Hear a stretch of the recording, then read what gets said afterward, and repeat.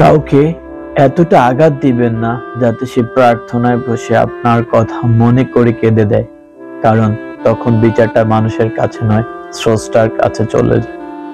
কার হাত ধরার আগে একশো বার নয়, হাজার বার ভাবুন, সে হাত দুটো ধরে রাখার ক্ষমতা আপনার সারা জীবন থাকবে কিনা?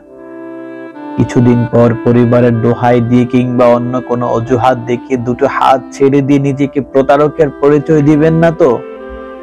মিথ্যা আশা দেখিয়ে কারও কাছে কিছুটা সময় ভালো থাকার চেয়ে কোনো আশা না দেখিয়ে কারও কাছে সাধারণ হয়ে থাকা ইসরায়েল। অন্তত গর্ব করে বলতে পারবেন, কেউ কখনো আপনাকে আপনাকে বেঈমান বলতে পারবে না। আপনার সামর্থ্য অনুযায়ী কাউকে ভরসা দিন কিংবা পাশে থাকার প্রতিজ্ঞা করুন। আকাশ কুসুম স্বপ্ন দেখে নিজেকে ব্যর্থতা ব্যর্থতা পরিচয় দিবেন না। যেতটুকু পারবেন সেটুকুই বলুন। অন্তত দিন শেষে মানুষটা বলতে পারবে, আপনি কথা দিয়ে কথা রাখতে জানেন।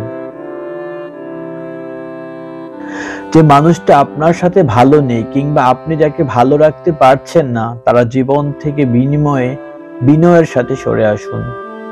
আপনি যে মানুষটার সাথে ভালো নেই কিংবা আপনি যাকে ভালো রাখতে পারছেন না, তার জীবন থেকে বিনয়ের সাথে সরে আসুন।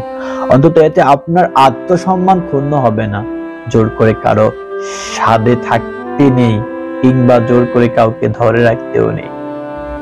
কারও মন রক্ষার জন্য কখনো নিজের ইচ্ছার বিরুদ্ধে কিছু করতে যাবেন না।